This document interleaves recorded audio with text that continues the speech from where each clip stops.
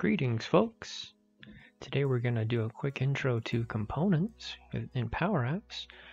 They're in preview right now. You have to make sure you're in, in a preview environment.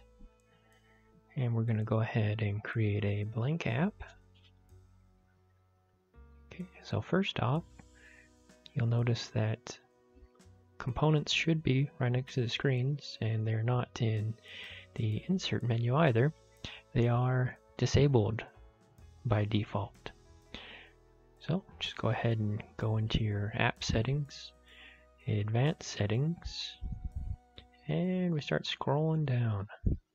Down to the experimental features, and all the way down to the very bottom is components. Go ahead and flip that on, come back, and there it is. Both the next to the screen and the insert. So go ahead and create a new component. Okay, now we're on our component screen.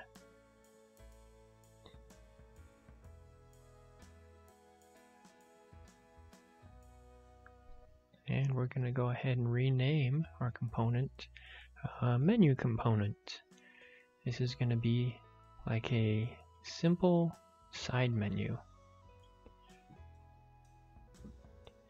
And now to add a new custom property, we're just going to go ahead and name this items for the display name, property name, and description. It'll be a input property type and change the data type to table. Okay, we're going to go ahead and set the item now for the property we just created. Change from this long table string. Delete all that out and replace it with item colon quote sample text and close quote.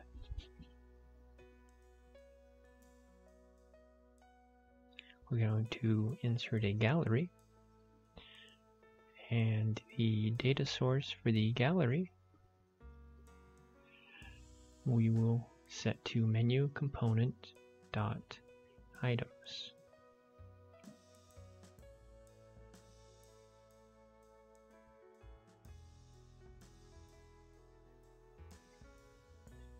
And just go ahead and change the border to 1 and template size to 50.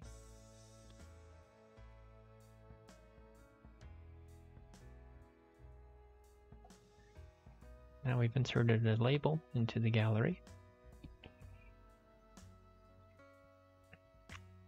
Let's add another custom property. This will be a output and we will call this selected. Just go ahead and set that for the display name, property name, and description. So now we have one input property and one output property. And we will set in the Advanced tab, the output will be Gallery 1 selected item.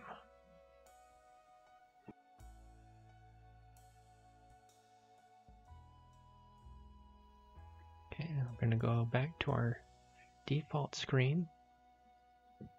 Go ahead and insert the component now.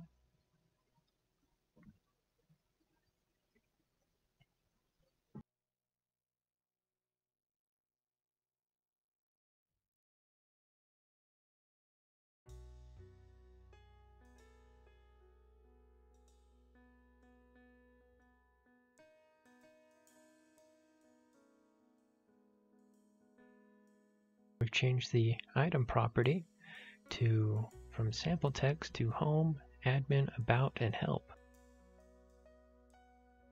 And let's go ahead and insert a label. And this will be using the output property that we created. We will set it to menu component underscore one selected. And now whatever we select here in our component is displayed in the label. So it's a simple example of a menu component with one input property and one output property.